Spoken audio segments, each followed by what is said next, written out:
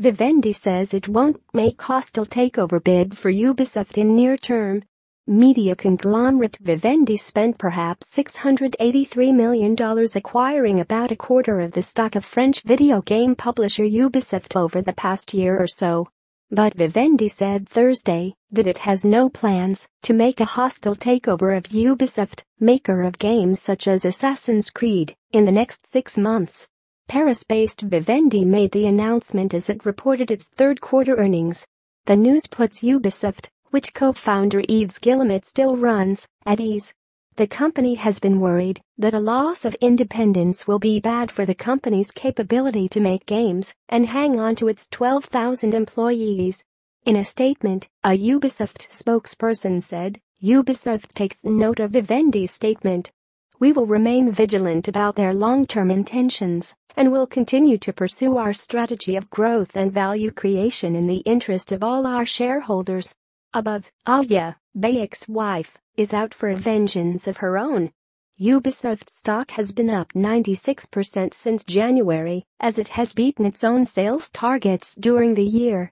That rise in stock price has made any full takeover more expensive. Ubisoft's founding family, the Guillemots, hold about 15% of the stock. Vivendi owns 26%, and it was possible that its share of the voting rights was going to rise above 30%. At that threshold, Vivendi would have to say whether it planned to make a bid to acquire the whole company or decline to make such a bid. In this case, Vivendi said it does not intend to file a public tender offer for Ubisoft shares, nor to acquire control of the company over the six coming months.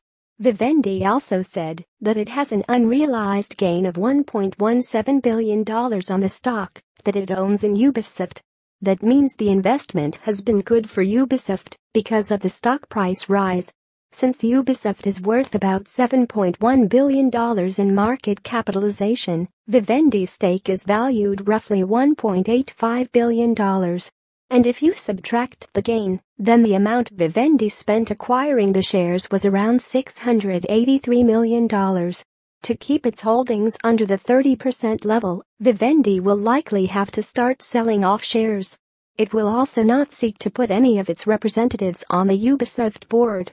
Country required by checking this box, you are confirming you are an adult 18 years or older, and you agree to Intel contacting you with marketing-related emails or by telephone. You may unsubscribe at any time. Intel's websites and communications are subject to our privacy notice and